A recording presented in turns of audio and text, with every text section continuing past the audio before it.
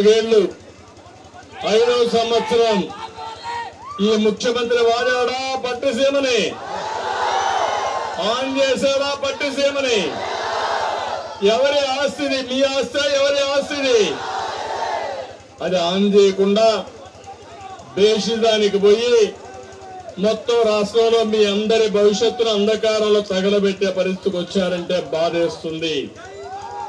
మొన్న కూడా మీరు చూస్తే అదే కానీ పట్టిసీమని ప్రతి సంవత్సరం వాడుంటే పులిచింతలో నలభై ఐదు టీఎంసీ నీళ్ళు ఎప్పుడు పెట్టుకొని ఇలాంటి కరువు వచ్చినప్పుడు నేరుగా శ్రీశైలం ద్వారా రాయలసీమ కూడా నీళ్ళు ఇచ్చే పరిస్థితి వచ్చేది. కరువును ఎదుర్కోవడం సమర్థవంతంగా చేసేవాళ్ళం.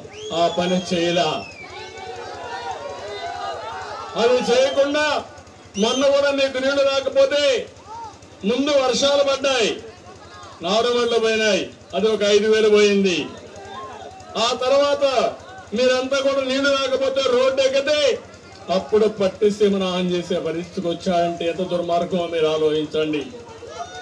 అదే గాని పట్టిసీమ నీళ్ళు గాని వచ్చుంటే ఇంకా రెండు నెలల కంటే ముందే మీ పంట మీ చేతికి వచ్చేది. మామూలుగా అక్టోబర్లో ఎక్కువ సైక్లోన్లు రావు. అందుకే నేను ఆలోచించింది ఎప్పుడు కూడా కృష్ణా డెల్టా అక్టోబర్ కంతా పంట వస్తే నవంబర్ డిసెంబర్లో సైక్లోన్స్ వస్తాయి కాబట్టి మీరు తప్పించుకుంటారు. సైక్లోన్ నుంచి మనకి ఏమాత్రం ఇబ్బంది ఉండదని నేను పెట్టాను. కడాన డిసెంబర్ నెలకు తీసుకొచ్చి మిమ్మల్ని ఈ సైక్లో సైక్లోన్కి అప్పచెప్పి మీ జీవితాలు నాశనం చేసేశారు. అది ఒక బాధ. ఇంకో పక్క ఇది పోయింది. ఇక్కడ నేను చూస్తే వ్యవస్థలను నాశనం చేసి ఆ వ్యవస్థలే మనకందరికి కూడా శాపాలుగా మారుతాయి. ఈ రోజు ఇక్కడ చూడండి. నీళ్ళు ఇప్పటికి కూడా పోలేదు అక్కడ. దానికి కారణం ఏంటి? ఏంటి కారణం? మురికి కాలువలు ఉన్నాయా ఇక్కడ? పంట కాలువలు సరిగా ఉన్నాయా ఇక్కడ? పొలంలోకి నీళ్ళు వచ్చినాక బయట వెళ్తున్నాయా నీళ్ళు? ఏం తమ్ముళ్ళు ఒక గంట ధాన్యం దరిచిపోతేనే నాణ్యత పోతుంది. అలాంటిది రెండు మూడు రోజులు ఆ నీళ్ళల్లో ఉంటే మొలకలు రాకుండా ఉంటాయా? మొత్తం మొలకలు చేయలేదు ఇప్పుడు. ఆ ధాన్యం కొంటారా ఎవరన్నా? ఒకవేళ ఇక్కడి నుంచి కానీ ఈ మరి పడిపోయిన భూమిలో హార్వెస్టర్ పెట్టాలంటే మూడింతలు ఎక్కువ అవుతుంది రేటు. మూడు వేలకు అయ్యే తొమ్మిది వేలు అవుతుంది. ఎవరు కట్టిస్తాడు డబ్బులు అడుగుతున్నా నేను. అదే మరిగా మామూలుగా లేబర్ పెట్టుకుంటే పదివేలు అవుతుంది. అన్ని ధరలు పెరిగిపోయినాయి. పెట్రోల్ డీజిల్ పెరిగిందా లేదా మీకు? ఈ రోజే బసవ పుల్లయ్య అని ఒక వ్యక్తి దుగ్గిరాల్లో ఏడు ఎకరాల భూమిలో వరి ధాన్యం వేశాడు. ఐదు ఎకరాలు కౌలు రెండు ఎకరాలు సొంత భూమి. ఏడు ఎకరాలు వేస్తే నీళ్ళు సకాలం రాకపోతే అతను పోరాడి కృష్ణానదిలో నీళ్ళు రాకపోయినప్పుడు డీజిల్ ఇంజిన్ పెట్టుకొని కొంత వాటర్ పంప్ చేస్తే అదనపు ఖర్చు అయింది. ఇంకొక వారంలో పంట వచ్చేది. తుఫాను వచ్చి పడిపోయింది. కనీసం ప్రభుత్వం హామీ ఇవ్వలేదు. కడాలి ఏం చేయాలో దిక్కు తెలియకుండా ఆత్మస్థైర్యాన్ని పోగొట్టుకుని అతను ఆత్మహత్య చేసుకొని చనిపోయాడు. బాధ ఆవేదన ఒక తమ్ముడిని కాపాడుకోలేకపోయాననే బాధ నాకు ఎప్పుడూ ఉంటుందని చెప్పి కూడా నేను మీకు తెలియజేస్తున్నాను ఈరోజు ఈ మూడు నాలుగు నిర్ణయాల వల్ల కొన్ని లక్షల మంది అప్పుల పాలైపోయారు.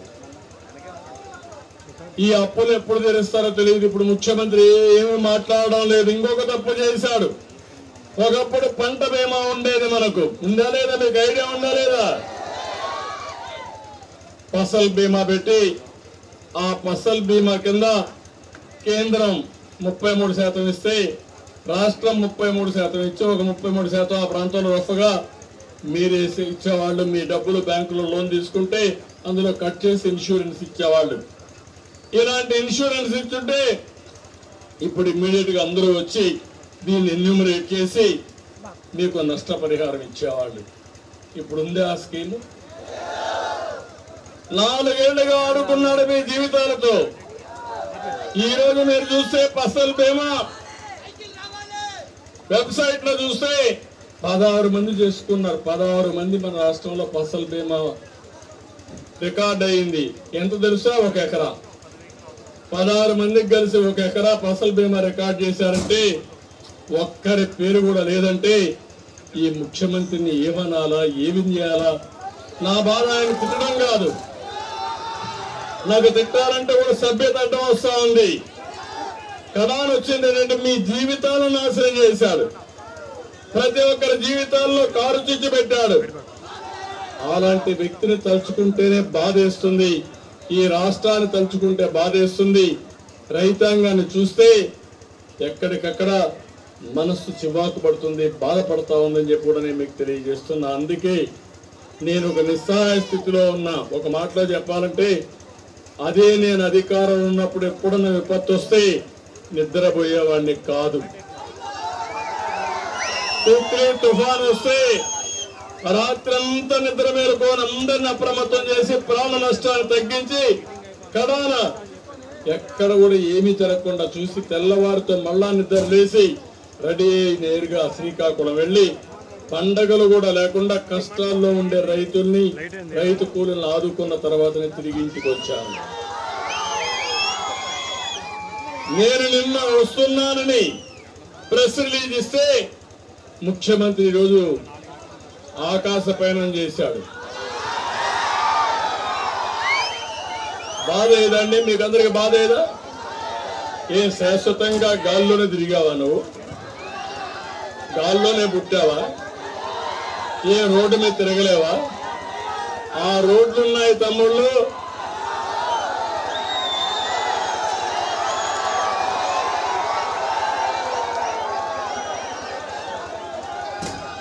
ఏంటి వ్యవస్థ? నాకైతే బాధ ఓసారి అనిపిస్తుంది.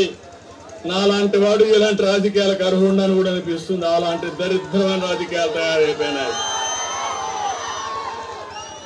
పనులు చేయరు అడిగితే కేసులు పెడతారు మన మీద. మీ మీద కేసులు.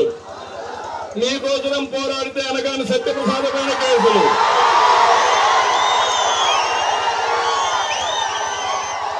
ఇదేంటి నీళ్ళు ఇవ్వలేదంటే రైతు మీద కేసు. మురిక్కాల దోవలేదంటే వాళ్ళ మీద కేసు. ఏం చెప్పాలి తమ్ముళ్ళు? ఆస్తులకు రక్షణ లేదు ఇప్పుడే చెప్తున్నారు రైతులు ఇక్కడ. మీ పొలాలు రైతు పొలాలు వేరే వాడు టెనెంట్ పేరు రాసుకొని ఇక్కడ బెనిఫిట్ ఇస్తే వాడు కొట్టేస్తున్నాడు. ఏమనాలి నాకైతే అర్థం కావడంలా ఏంటి అరాచకం? ఏంటి ఈ యొక్క పరిస్థితులు చూస్తా ఉంటే ఎప్పుడన్నా జరిగిందా? ఎవరైనా ఊహించారా? కల్లోనే మరి ఇవన్నీ? మాట్లాడితే ఎక్కడికక్కడ నేరాలు ఘోరాలు ఎన్ని ఒకటి రెండు కాదు ఎవరన్నా మాట్లాడి చంపేయడం. ప్రాణం అంటే విలువ లేదు శీలం అంటే విలువ లేదు. ఏ పని చేసి డోర్ డెలివరీ చేస్తారు మాట్లాడితే? కాబట్టి బాధేస్తుంది ఏదేమైనా నేను ఒకటే మిమ్మల్ని అందరినీ కోరుతున్నా. నేను కష్టంలో ఉన్నప్పుడు మీరు చూపించిన అభిమానం కానీ మీరు చూపించిన చొరవ కానీ నా జీవితంలో ఎప్పుడూ మరిచిపోలేను. ఈ రోజు నేను వస్తుంటే చూశాను దారంతా చూశాను. చిన్న పిల్లల దగ్గర నుంచి ఆడబిడ్డల దగ్గర నుంచి యువత దగ్గర నుంచి రైతు దగ్గర నుంచి రైతు కూలీ దగ్గర నుంచి అందరూ కూడా రోడ్డు మీదకి వచ్చి మీరు కష్టాల్లో ఉన్న ఒక నమ్మకం నా మీద ఒక భరోసాతో నాకు స్వాగతం పలికారు. అంటే నన్ను చూసి మీ కష్టాలు తీరుస్తాననే ఒక నమ్మకాన్ని మీరు కల్పించుకున్నారు. కొంతమంది మాట్లాడుతూ ఇంకెన్ని రోజులు? మూడు నెలలే కదా. మళ్ళా మీరు వస్తారు. అప్పుడు మా కష్టాలు తీరుతాయని కూడా మీకు చెప్పవలసి వచ్చారు. కానీ బాధ ఆవేదన ఏంటంటే ఎన్నికల ముందు చెప్పిన మాటలు ఏం చెప్పారు? ఎన్నికలు అయిన తర్వాత ఏం చేశారు? రాష్ట్రాన్ని ఏ విధంగా వ్యవస్థలన్నీ ఏ విధంగా నాశనం చేశారు? విధ్వంసం చేశారు? ఒక రోడ్డు వ్యవస్థ కావచ్చు ఒక ఇరిగేషన్ వ్యవస్థ కావచ్చు ఒక వ్యవసాయ శాఖ కావచ్చు అన్ని కూడా నాశనం అయిపోయినాయి. కడాన ఈరోజు ఒక రాజధాని ఇష్యూ కావచ్చు ఏదైనా సరే అన్ని కూడా నాశనమైనాయి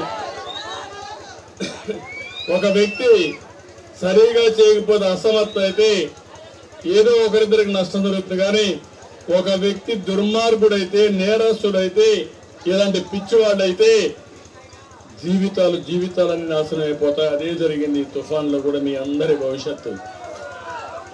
నేను పద్నాలుగో సంవత్సరం నుంచి పద్ పంతొమ్మిదో సంవత్సరం వరకు రెండు సైక్లోన్లు వస్తూ ఎప్పటికప్పుడు మీకు ఇచ్చే నష్టపరిహారం పెంచాను. పదివేల రూపాయలు ఉంటే వరి ధాన్యానికి నేను ఇరవై వేలు చేశాను. కనీసం ఇరవై వేల నుంచి ముప్పై వేలు చేయకుండా పదహైదు వేలు తగ్గించిన ఘనత. అంటే పంతొమ్మిది నుంచి మీ వ్యవసాయ ఖర్చు తగ్గాయా? పెరిగాయా లేదా? పెరిగితే దాన్ని తగ్గించి ఇప్పుడు అంటాడు నేను అన్ని చేశా ప్రతి ఒక్క రైతు ఆనందంగా ఉన్నాడు మీ కర్మ మీరు అనుభవించండి పరిస్థితికి వచ్చాడు. అదే బాధ అదే ఆవేదన. అందుకే నేను చెప్తున్నా మళ్ళా నేను అడిగాను నేనున్నప్పుడు ఇన్ని ఇచ్చాం? ఇప్పుడు అడుగుతున్నా మీరు మీరు ఇచ్చేది ఇంకా తక్కువ ఇచ్చారు. మళ్ళా పెంచాలి. వీళ్ళు పెంచకపోతే నేను ఒకటే హామీ ఇస్తున్నా మూడు నెలల తర్వాత రైతు రాజ్యం వస్తుంది రైతే రాజుగా ఉంటాడు. రైతుని అగ్రస్థానంలో పెట్టే బాధ్యత నేను తీసుకుంటానని మరొకసారి మీ అందరికీ హామీ ఇస్తున్నా.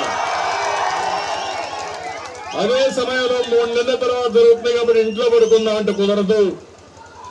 ఈ ముఖ్యమంత్రి బాధ్యత ఈ రాష్ట్రంలో ఆ కుర్చీలో కూర్చున్నంత వరకు రైతులకు న్యాయం చేయాలి. ఇప్పుడే నేను చూస్తున్నా కడాన గోనె సంచులు కూడా ఇవ్వలేని ముఖ్యమంత్రి నియమనాల తమ్ముడు అని మిమ్మల్ని అడుగుతున్నా.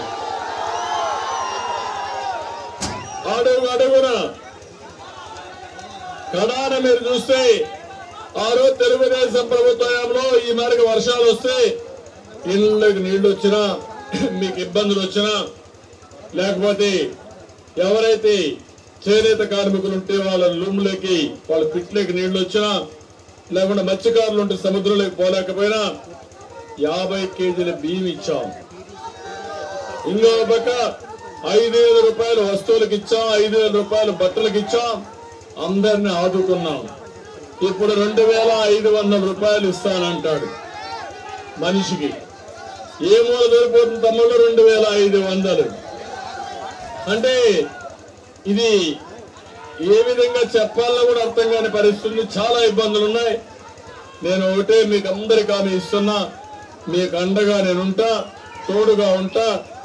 ఎట్టి పరిస్థితుల్లో మీకు న్యాయం జరిగే వరకు తెలుగుదేశం పార్టీ మీకు అండగా ఉంటుందని చెప్పి మీ అందరికీ తెలియజేస్తున్నా. ఈ నేను చూశాను. ఎప్పుడైనా కష్టం వస్తే కేంద్రం ఒకటి ఉంటుంది. వాళ్ళు కూడా ఆర్థిక సహాయం చేస్తారు.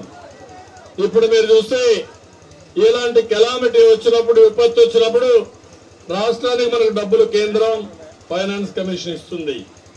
అది అయిన తర్వాత కేంద్రం దగ్గర కొంత సెంట్రల్ కెలామిటీ ఫండ్ అని కేంద్ర విపత్తు నిధి అని వాళ్ళ దగ్గర డబ్బులు ఉంటాయి. ఆ డబ్బులు కూడా మనకి ఇస్తారు. అంటే ఈ సంవత్సరం చూస్తే అతి పెద్ద విపత్తు వచ్చిన ఏకైక రాష్ట్రం ఆంధ్రప్రదేశ్ రాష్ట్రం. అవునా కాదా? మీరే చూడండి.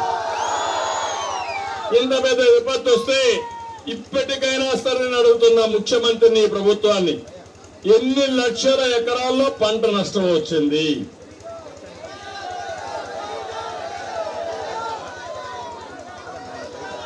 చెప్పరు. ఏ రహస్యమైంది పంట బీమా ఎన్ని లక్షల మందికి మీరు చేశారు? చెప్పరు. ఏం చెప్పాలి? అది అడిగితే మన మీద కేసులు పెడతారు. తమలో అందుకే నేను చెప్తున్నా నేనే ఒక లెటర్ కేంద్రానికి కూడా రాస్తా ప్రధానమంత్రికి సెంట్రల్ కమిటీకి కూడా రాస్తాం వచ్చి తక్షణమే ఎంత నష్టం జరిగిందో చూసి మన రాష్ట్రానికి సహాయం చేయమని చెప్పి కూడా కోరుతాను. ఇంకో పక్క రేపు ఎల్లుండి అన్ని జిల్లాలకు పార్టీ పరంగా కమిటీలు కూడా పంపిస్తాం. ఎస్టిమేట్స్ తయారు చేస్తాం. గ్రామ స్థాయి నుంచి అందరికీ చెప్పి ఆ ఊర్లో ఎంత నష్టం జరిగిందో అవి కూడా రికార్డ్ తయారు చేసి వీళ్ళు కావాలని దొంగ నిద్రపోతే నిద్ర లేపి మళ్ళా వీళ్ళందరినీ ఒకవేళ అవసరమైతే ఏం చేయాలో చేద్దాం. కానీ మీకు న్యాయం కూడా చేస్తాం.